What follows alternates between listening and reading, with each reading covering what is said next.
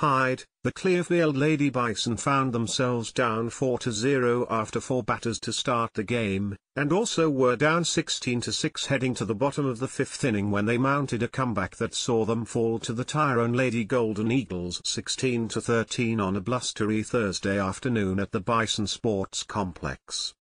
Lady Bison starter Megan Weiser gave up two singles to start the game, then intentionally walked opposing starting pitcher Sam Shaw after the visitors had runners on second and third. The strategy backfired as third baseman Amariah Sprankle then lined a grand slam home run to right center field to put Tyrone up 4-0 within a matter of minutes. Weiser got out of the inning without further damage and then pitched a scoreless second inning to keep the Lady Bison in the game. During the home half of the second, the Lady Bison erupted for six runs to take what turned out to be their lone lead of the day. Left fielder Maddie McBride got things started with an infield single, then moved up to third via a wild pitch and an infield out.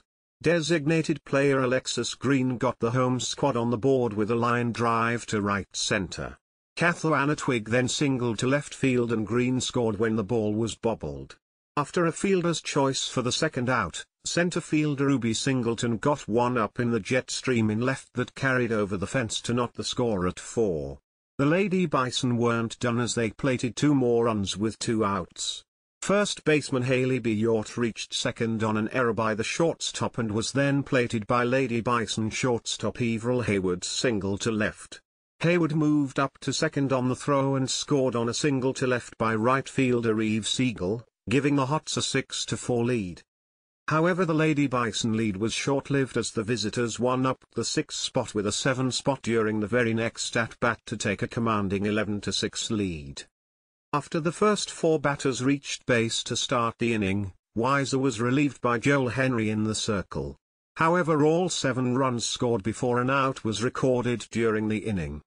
Tyrone added a single run in the fourth and four runs in the fifth to take a 16-6 lead into the home half of the fifth with the Lady Bison needed to score to extend the game or lose by the 10-run mercy rule. McBride got things started when she reached on an error and third baseman Sam Campalong singled to center and moved up on the throw to put two runners in scoring position.